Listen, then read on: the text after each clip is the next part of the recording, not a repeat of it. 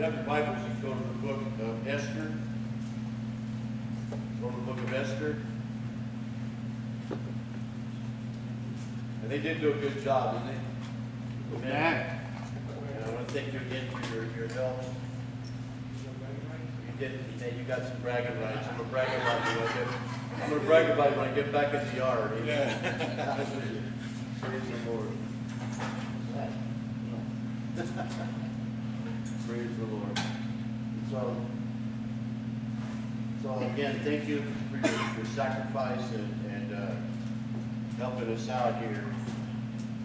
And my wife would come down as well, but you know, it's always fun to come to church and, and, uh, I like, I like doing things like that, so praise the Lord, and, and it's, and God will reward us in different ways, how many know that? It's not always about position or title or anything like that. Uh, we're not above anything, amen? Hallelujah. I mean, I'll, I'll shine your shoes, amen. And I've never been too proud, amen. I, I always loved to, I love to work, amen. I, was a young man, I used to shovel horse manure to make money, amen. Come on. Didn't matter to me, amen. I was going out there to work. Praise the Lord. So anyways, I, I- the Lord laid it on my heart. And, uh, and the message is called Stand Up, Standing Up and Standing Out.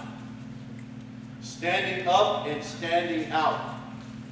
Now, every day in the news, if you watch the news, and it's kind of depressing to watch the news a lot of times, but it always seems to, mostly everything that they talk about, uh, everything that I hear, most of it, is all uh, with a negative undertone. You know what I'm talking about?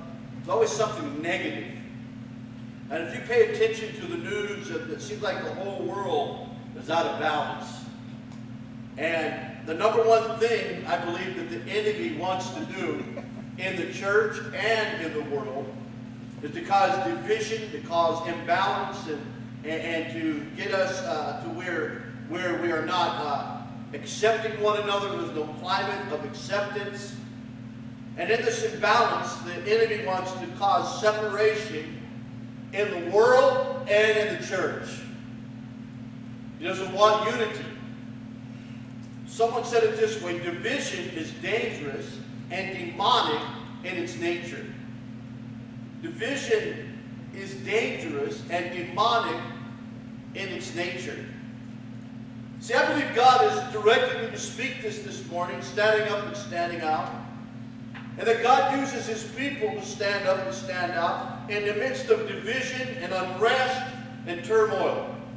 I know uh, I, I, throughout my lifetime, and we've all been through this, that there's times of there's times when things are going great. Can somebody say amen? Amen. I love those kind of times, but you better hang on to them with all you got.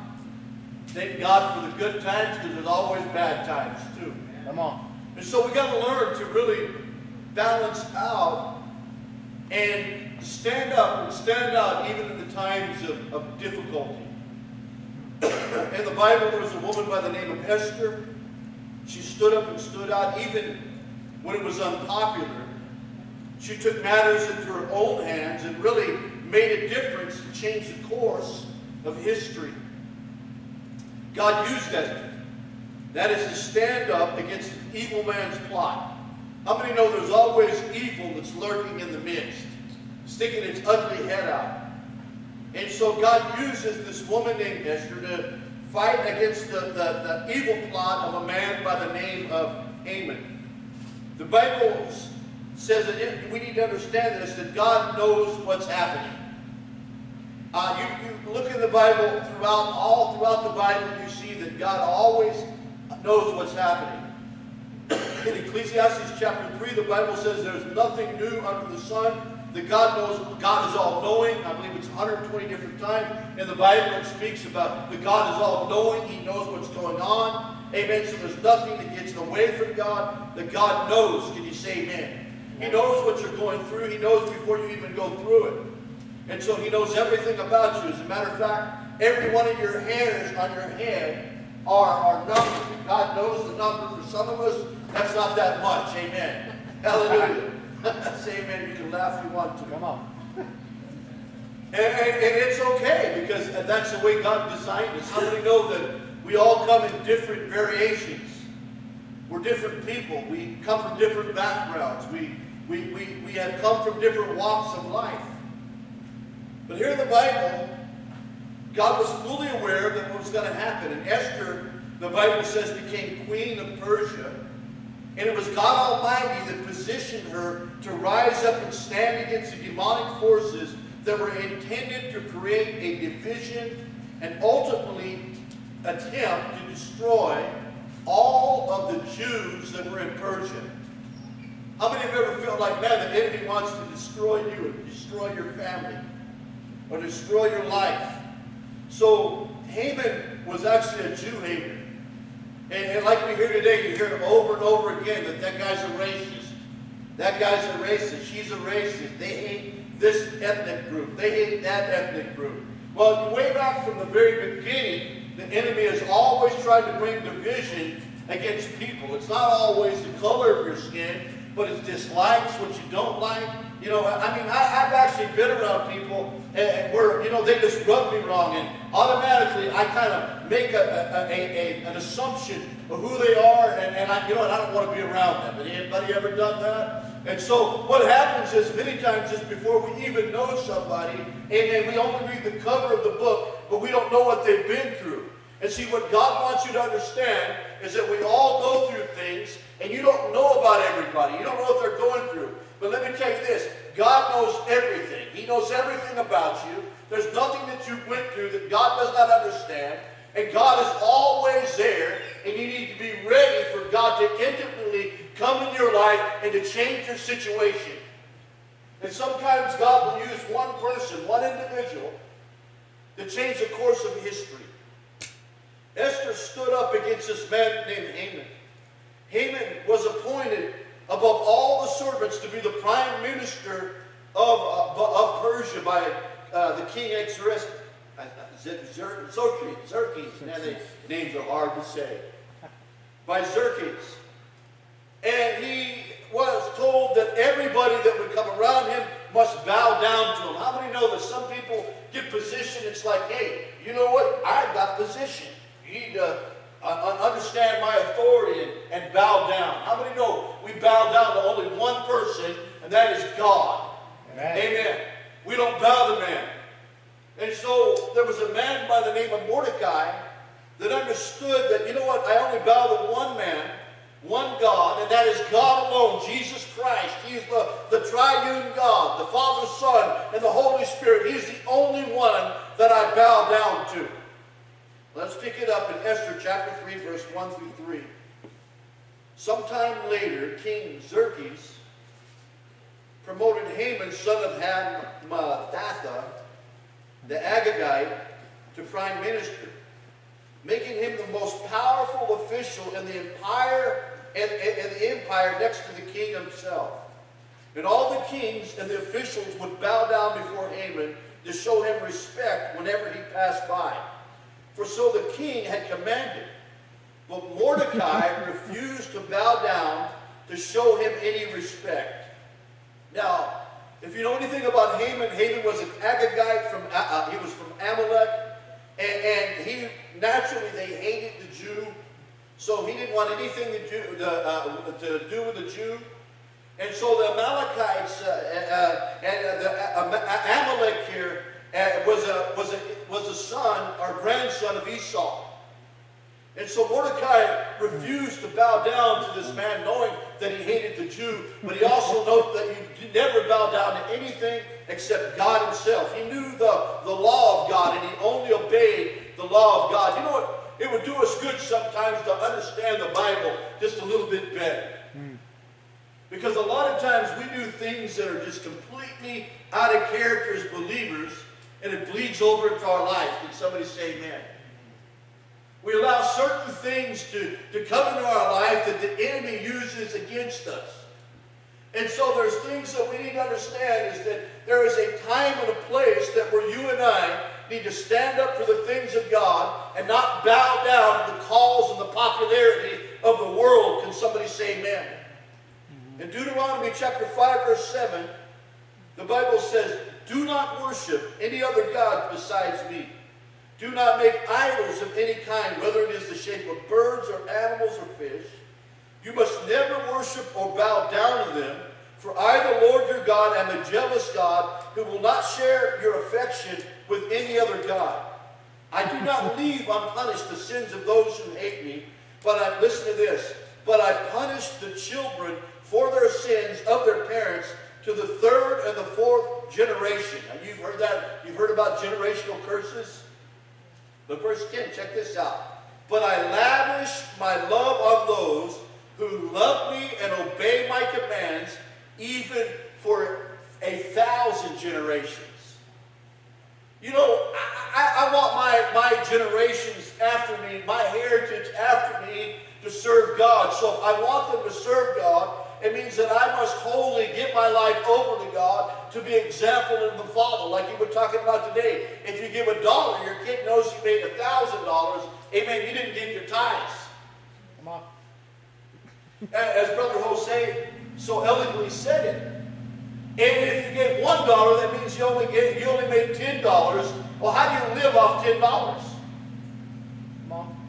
And, and, and, your character always comes out. The, the way that you believe will always come out. That is why every day we need to walk, uh, uh, the Bible says, appropriately with our character intact and live it out in our lives. I'm not saying that you don't make mistakes. I'm not saying that we don't go through rough times and pains and, things that we go through, but I am saying that through it all, amen, we need to keep our focus upon God and believe God and live the best we can now, I know that we're not perfect, but we are to allow God to begin to transform us and change us over into the image of Christ.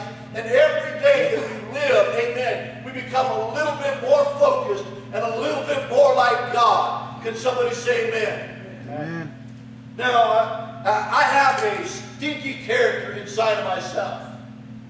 The Apostle Paul said in Romans chapter 7, he said, you know, he wrote two-thirds of the New Testament. But he said, you know, if, he says, if it wasn't for the grace of God, he even says, there I go. He says, you know what? I thank God for his grace and his mercy in my life. But he says, I continue to do the things that I don't want to do. And the things that I do want to do, I don't do them.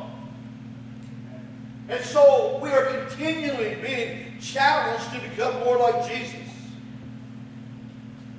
The Bible says that Haman, he was a madman. He got mad at Mordecai because he wouldn't revere him and bow down to him. And so because of one man wouldn't bow down to Mordecai, he says, you know what? We're going to wipe out all the Jews.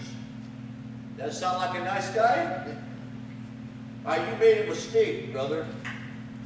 So you know what's going to happen to you? Oh, I'm wiping out your whole family. Come here. Hey, Hey, Brutus, come here. Hey, you see that man over there? Not only take him out, he disrespected me, but you know what? Kill everyone in his heritage. And this is the heart of Haman. He was a man that had hate. He was a man that was prideful and a man that had hate if he wanted everybody to bow down and to, to serve him and to revere him. In Esther 3, chapter 6, it says, so he decided it was not enough to lay hands on Mordecai alone, but to kill all the Jews. Listen, church, sometimes the devil is not happy just to divide your personal relationship with God. Sometimes the devil is not happy just to divide your personal relationship with God. He will go after your family and all those that you love. Say amen. You see, since we, he had learned that Mordecai was a Jew, he decided, you know what I'll do? I'll destroy all the Jews throughout the whole empire of Xerxes. And Haman went on to the king and he secured a consent in writing to offer a bribe. In other words, he was bribing, he wanted to kill the Jews. And he goes over to the king and gets a written decree that he's able to go out and kill all the Jews. Now let's pick it up verse 8. Then Haman approached King Xerxes and said, There is a certain race of people scattered throughout all the provinces of the empire, and their laws are different from those of any other nation, and they refuse to obey even the laws of the king. So it is not good that the king's interest let them live. Listen to this. Verse 13 says, And he sent out by messengers into all the provinces of the empire the letters of the decree that all the Jews, listen to this, young and old, including women and children, must be killed and slaughtered and annihilated on a single day. Kill them all. In one day's span. Well, fortunately, Mordecai had heard of the decree, and it concerned him because he was a Jew, and it concerned him for all his people. You know, what, church, we need to be concerned about the people that are here in the church. Amen. We need to be concerned for each other.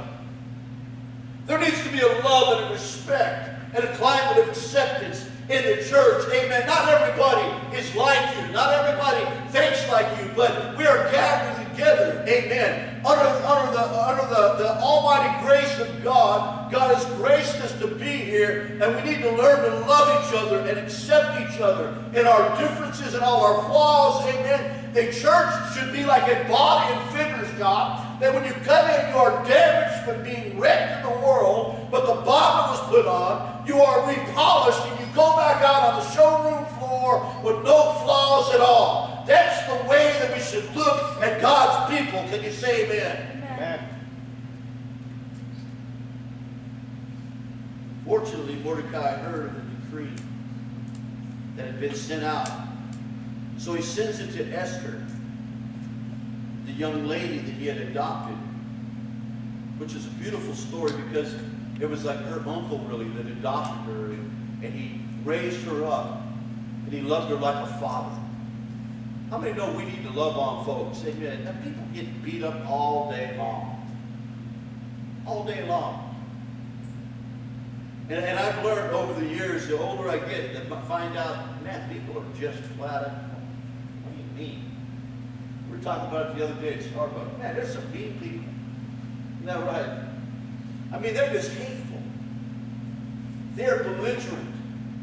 They're mean.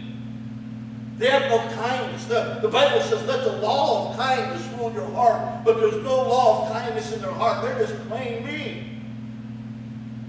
I mean, my wife's told me I'm mean at times. It ever happened to you? Amen. She said, you're mean. And, and, and I, you know what I learned that when my wife says that, I learned to listen. That's why God gave us two ears and one mouth.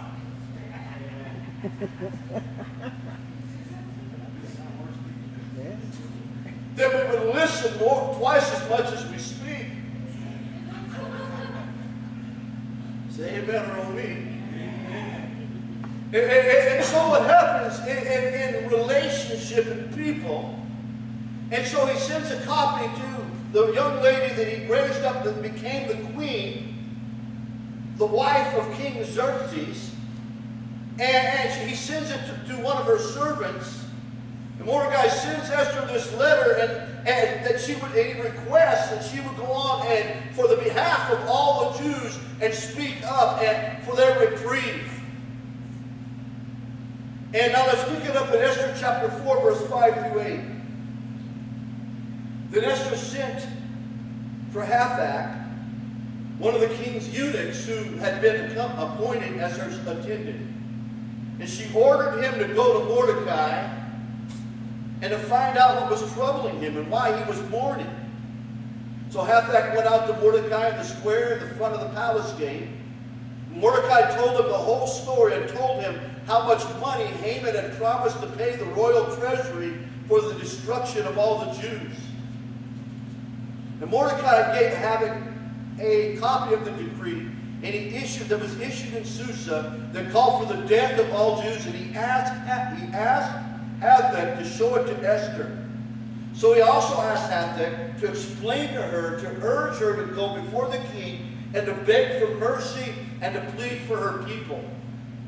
Now, Esther had got the copy that was sent to her by her uncle, and, and, and she sends back notice to Mordecai that that's really in, in disarray, he's hurting, and, and his whole countenance is fallen. And she sends a letter back to her uncle and says these words, you know what, I must obey the king. I can't just go into the king's court And I can't enter his court unless he summons me to come in, or he puts out his golden scepter out, and when I'm standing in the inner court. And it had been 30 days since he asked her to come into the court. And so for her going in and trying to plead for her people, the Jews, and by the way, he, she never told uh, the king that she was a Jew. She never said anything. You know, sometimes it's better off, something, let me just tell you this. Some things are better off not to be said. And so she never told Xerxes that she was a Jew. And now Haman, he hates Jews. He doesn't realize that the king is married to a Jewish woman that had kept her mouth shut. And so uh, he now he wants to kill all the Jews, and she finds out about it. And she sends back note to, or word to her uncle Mordecai saying, I can't, I have to been 30 days since I've gone. And then he gets the note and he realizes, you know what, I've got to do something. I've got to speak something into her life to cause her to want to stand up and take courage and faith and believe and go before the king to plead the case for the Jewish people. Now let's pick it up. The message is really the challenge of the whole book of Esther. In verse 14 of chapter 4. Listen to his words. If you keep quiet at a time like this, listen, if you keep quiet at a time like this, deliverance for the Jews will arise from some other place, but you and your relatives will die. What's more, who can say, now listen to this, this is very important, who can say, but that you have been elevated to the palace for such a time as this? So Esther heard these words, and now you need to think about this. He's saying, Esther, I've raised you up. And I, I didn't get into the whole story because it had been a lot, but there was a whole year that women had were getting beauty, they get beauty treatments and everything for a year, all those that were chosen, and he chose Esther. He loved her more than any other woman throughout all Persia to be his wife. And now he's saying, you know what? He's saying, you know what? You need to do something. And I believe God has strategically positioned you as the king's wife because, listen, your people are going to be killed. My blood and your blood are going to be killed. And how do you know that God had positioned you in this place for such a time as this? Now is the time for you to speak up, Esther. Yes. How many know there's a time to speak up? The Bible says a time to be quiet and a time to speak. And I'll tell you what, when, when you begin to see somebody that's gossiping or, or tearing down leadership or, or tearing down those that you love in the church, and what you need to do is you need to speak up and say, you know what, let's not have it, amen. Let's stop it right here on the spot. Let's put this thing in its place and let's put things back in order and love each other enough to keep a balance, a healthy balance in the church so we're not speaking evil of one another. Not saying this has happened in our church, but it's just a story here. So Esther had heard this. You know what? How do you know that God hadn't placed you in the position for such a time as this? And Esther acts quickly. And she sent word to Mordecai to gather all who were in Shushan and to fast for three days and three nights. And she promised that she would do the same. Let's pick it up in verse 16. The Bible says, And go gather all the Jews of Susa and fast for me do not eat or drink for three days and nights. My maids and I will do the same. And then, though it is against the law, I will go in to see the king, and if I must die, I am willing to die. She's saying, you know what, I'm willing to put my life down on the, put my life on the line, and to go before the king, not being summoned, because if you went before the king and hadn't been asked to go in there, unless he held out that golden scepter, you were dead. And so she had made up in her mind that, you know what, she, she made up a, made a valuable statement that if I die, I, will, I am willing to die. That if I perish, I will perish for my people. You know, there's something about, the Bible says there's no greater love than this, that a man would lay down his life for his friend. Yes. And so there's something here. Esther had a courage, and it took great courage to do what she did. And in Esther 5.12, the Bible said that she dressed in royal apparel and stood in the inner court and had not been invited in to see the king. So she's putting her life out on the line here. The king was on his throne. The Bible says that he held out his golden scepter, and Esther watched up, walked up and touched the scepter. Now I want to show you something because the Lord God of Israel was at work. Sometimes you may be thinking, you know what, God, I don't know what we're going to do. How many have, have thought that maybe this week?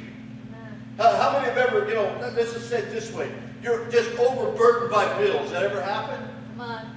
I, I got a, a, a disability with my legs, and, and, and guess what? How much money I got last month? $600 for the whole month. I'm like, how are we going to do it? How are we going to make it? Can I tell you something? Amen. I put it in the Lord's hands and everything worked out. Amen. You, know that old song, I've got a feeling everything is going to be all right. and what you've got to do is begin to trust God in the midst of your circumstance, in the midst of what you're facing. It may not be what you want it to be, but God is able to do exceedingly and abundantly above everything that we ask or think because our God is able. Yes. Amen. now, what you need to understand is many times we must stand up even when it hurts the most. We must stand up and trust God. And I want to tell you something prophetically. If you are here today and you feel like you're not going to make it, let me tell you something. Stand up like Esther did. And she said, if I perish, I perish. But I'm going to stand up for what is right. I am not going to quit. Amen. I am willing to die for what I know is right. Yes. Amen. Amen. And when you do that, amen, you can bring it up. Yes, I have my Perrier here, but that's okay too. Amen. Thank you so much. Thank you. My kids keep telling me, Dad, that's not water. That's soda. I don't like water. So I gotta get I gotta get used to drinking water now, right? Yeah.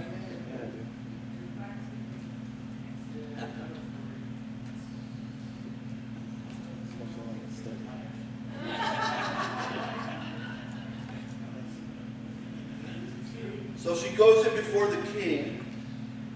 And I want you to notice she, the king had put out the golden scepter and he called her in.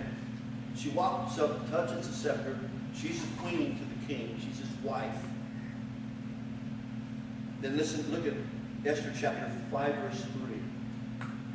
The Bible says, Then the king asked her, What do you want, Queen Esther? What is your request? I will give it to you in even half of my kingdom. You know what? That's what God wants. God is looking for you to have enough faith to stand in the inner court when it hurts the most and trust God. Amen. And, and, and, and take your life into your hand. Amen. She says, if I perish, I perish. She walks up. He pulls out the golden scepter. She walks up. She touches the golden scepter. How many know this is God working in the middle of faith and courage? See, that's how God works. He works in the middle of faith and courage.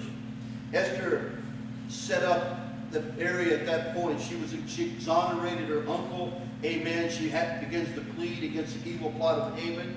And the king found out what Haman had done. Amen. It was bribery. He began to bribe those that, that would begin to hate the Jews and say, listen, we're going to take all this money and give it all to you. If you wipe out every Jew, everyone will be everyone will be paid off. Amen. So just go kill them. You know, that's that's insanity. Can I tell you something, folks? Esther spoke up with courage and informed the king. I want to tell you something. Today, there is an all-out attack on the church. There is an all-out attack against the leaders. There is an all-out attack against the heart of the church, attacking people. We should have a love and acceptance for. Haman had an agenda. He wanted to be the big shot, and he was a prideful man, and Mordecai would not bow down to him. So he had a personal agenda and planned not only to kill Haman, uh, uh, Mordecai, but to destroy every Jew. And, and, and he, he didn't realize he was even talking about the king's wife. And you're thinking, how would the king let this happen? Well, he already signed a decree. And so Mordecai says, listen, if you don't speak up and talk to this evil king, I mean, this evil man Haman, and let the king know Xerxes what he'd done, I'm going to tell you what's going to happen. Not only will your people die, but you're going to die because you didn't speak up. This is to somebody. Amen. You need to start speaking up on your behalf.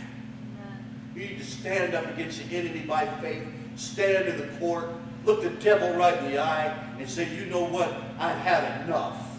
Mm. I've had enough of you ripping me off. I've had enough of you ripping off my people.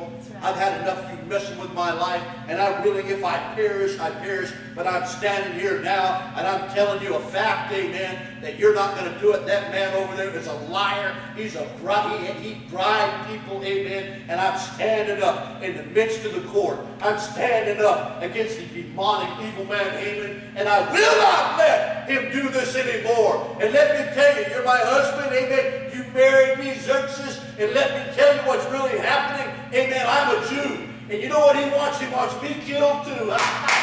How many know God positionally puts you in places, amen, so he can bring you out and exonerate you against the evil plots of the enemy? Can somebody say amen? Amen. Amen. Yes.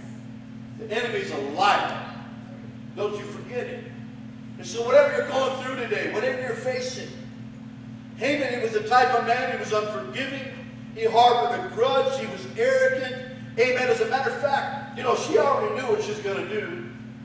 And so Esther says, you know, we're going to have a, a banquet. And in this banquet, we're going to invite just this man here. And so she invites this man, Haman. He's all prideful. Man, you know, he goes back home, tells everybody, me and my wife went to the banquet. And we're the only ones. Man, amen. The king, the king, I, I'm his right-hand man. I'm the prime minister. And she said, now there's a second day you got to come back.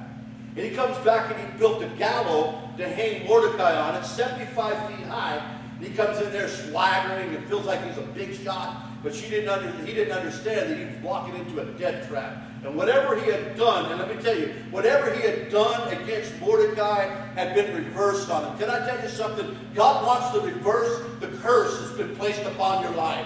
Amen. He wants to turn it around. And so he comes in there thinking, okay, today's a good day. Mordecai, you're going to hang on the gallows that I built. He comes in and begins to talk to the king. But he didn't realize that his nasty rear end was going to be hanging upon that gallows. It wasn't going to be Mordecai. Because God had intervened. And not only, listen to this, not only did God intervene for Mordecai, and Haman died upon that uh, gallows, but not only that, check this out, amen. Hallelujah. He takes Mordecai and gives him the position that Haman had as the prime minister of Persia Amen. the second highest position throughout all the land. Because you know what happened was is that he had never been told what a great man Mordecai was. You know, we need to start bragging on people a little bit. I'm gonna brag about you a little bit. Amen. When I get back to the yard, brother, Come on. I tell that all the time. It's a joke. We need to let people know, you know what, hey, you did a good job. Thank you for your work. Thank you for what you've done. Thank you for your sacrifice. Amen. Thank you for your for leading worship. Thank you for cleaning the church. Thank you for painting. Thank you for working with the kids. Thank you for doing the outreach. Thank you for being here. Thank you for giving. Thank you for everything that you do. And so the king finds out that there had been an ambush. Going, they were going to assassinate him. The two of his eunuchs had thought, you know, we're going to kill the king.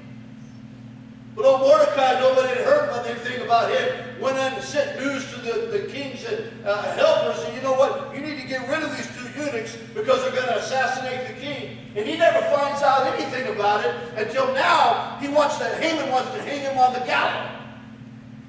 Then as he finds out, you know what? Did you know what Mordecai even saved your life one time? Man, you know, we need to have some things written in stone a little bit about our life. We don't want just bad skeletons, but we want things in our past. There's at least a few little things. Not that we do everything perfect. We want some places that there's a real reference point in our life. Places that we can go back and refer to. You know what that guy did? You know what she did? Amen. That helped us get further. That really helped us. You know, I am looking for some more people like that. That we can refer back to and say, you know what? Thank you. Thank you. Thank you for your sacrifice. Thank you for what you did. So it gets back to the king. He saved my life. Will You hang that old devil Haman up by the gallows, 75 feet gallows. You tell Mordecai to come over here. Because I'm reversing the curse. And everything that Haman had, the prime minister, the second highest in command of all Persia, Mordecai, Mordecai, come up here, you just got a promotion. And But listen to me. It never would have happened if Esther hadn't stood up. The Bible says, at such a time as this, she took a chance to do what was right when it was unpopular. She took a chance to stand in inner court of the king when she should have, could have died. And she says, you know what? If I have to perish, I'm willing to perish. If I have to die, I'm willing to die. But I'm going to stand up for what's right. You know, the truth is, most people are afraid to stand up when the, go, when the going gets tough. Yes. But people of character, they don't quit. People of character, you know what? They stand up no matter what. You know, maybe there's a giant you're facing today. God is beginning to put, this is, this is to somebody. There's something you're facing today that seems like it's in, insurmountable. That you're never going to make it through it. But God is saying, don't be afraid. Stand in the inner court. Don't be afraid. Stand in there and trust me. If you're willing to take the chance, if you're willing to face the opposition, if you made up your mind that I'm going to stand up and I'm going to stand out, and if I perish, I perish, and whether you're the majority is against you, and, and, and whatever it is that is against you, a true man or woman of God will stand their ground. And when they're, and sometimes it's when there's only one that's willing to stand. How many of have ever felt like, man, I'm alone? If you've been with the Lord very long, you're going to feel that sometimes. Let me tell you.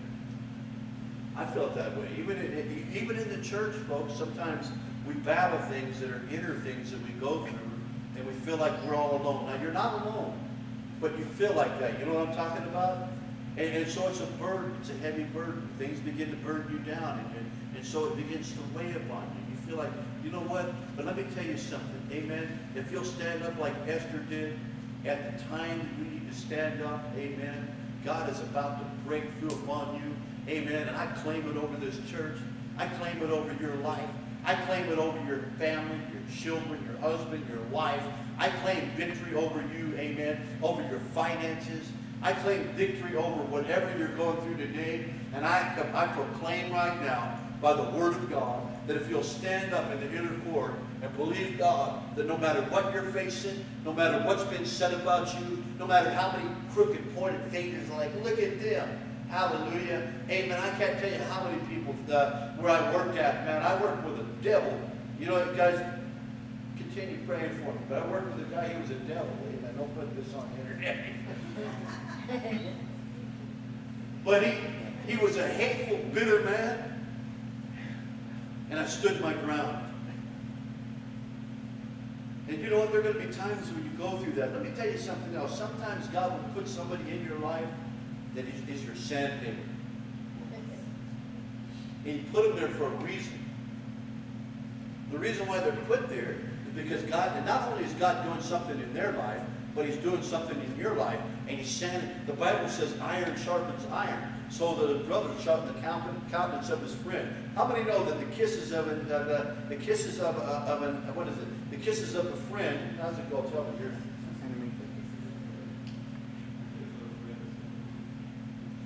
The kisses of a friend are better, oh, the, the, the rebuke of a friend is better than the kisses of an enemy. Amen. You- you- Anybody get rebuked on the way to church today? Uh, Let let me, let me close with this. We're driving in to get our money to pay our tithes. And I, I'm in a hurry because we've been on the phone. My wife's dad had a heart attack. We just got back from Arizona. My mom is, is deathly ill. So right after church, we're going to leave and go over and see her dad. And so we're heavy-hearted today. But you know, as we go and we get our, our offering and, and we come to church today, Amen. My mind is a thousand different places. My poor wife's is too. And I pulled into the bank and I didn't see the stop sign and I didn't stop quick enough. And this lady pulls right in front of me and she was going fast, but it was all my fault too. She's like, and she's pointing her finger at me and cussing me out.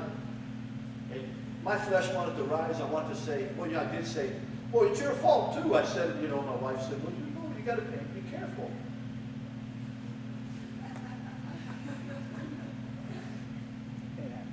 People are impatient today.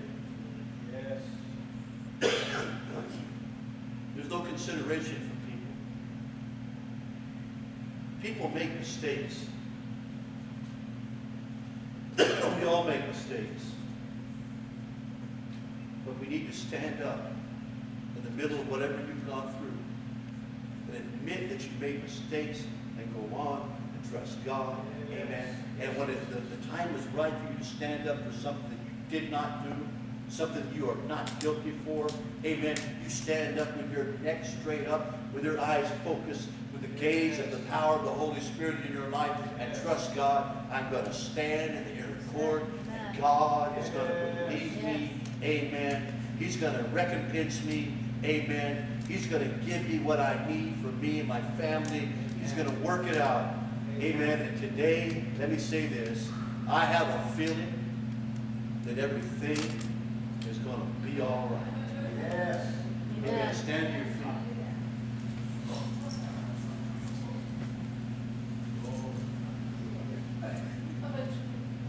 I have a feeling that everything is going to be all right. Yes.